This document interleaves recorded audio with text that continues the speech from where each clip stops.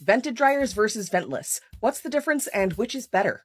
Hi, my name is Renee and I'm an appliance care and maintenance specialist. To vent or not to vent? That is the question. But before I can answer that question, we have to talk about what we're venting, or not venting. Clothes dryers dry your clothes by using air and heat to remove water via evaporation. As your laundry moves around and hot air is blown through it, minuscule, slightly damp pieces of textiles, hairs, dust, and other small debris will be knocked loose and fall off. All of these tiny bits combine to form what's called lint. If the water isn't removed from your clothing, your clothing will not dry. And if the lint isn't removed, your clothing will come out looking even worse than before you washed it. Whether your dryer is vented or ventless, every dryer has to find some way of removing both the moisture from your clothing and the lint that's a natural byproduct of the drying process. In a traditional vented dryer, the water and lint that are removed from your clothing are vented to a different area, ideally to outside, via the dryer's vent tube. As the water is heated, it evaporates and is easily blown out of the dryer as it's carried through the air. Assuming your dryer's venting is installed and maintained correctly, of course. And that hot, humid air that's moving through your dryer also carries lint. After the lint is shed from your laundry, it makes its way through your dryer's venting system, which begins at the lint filter. The lint filter catches most of the lint, but not all of it. Smaller bits of lint that are even too small for the lint filter to catch make their way through the dryer to the dryer venting. Because the lint is not yet completely dry, some of it will become stuck to the inside of the venting tube and the rest will be blown outside.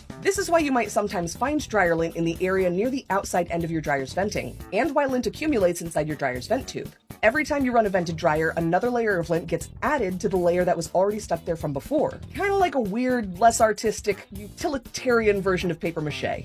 Over time, this lint buildup does dry out, and it becomes so dry that if you let it accumulate for too long, it can pose a fire risk. Dryer lint is even well known in the camping world to be an excellent fire starter. That's why it's important to make sure that you clean or replace your dryer's venting at least once a year, which is what most manufacturers recommend.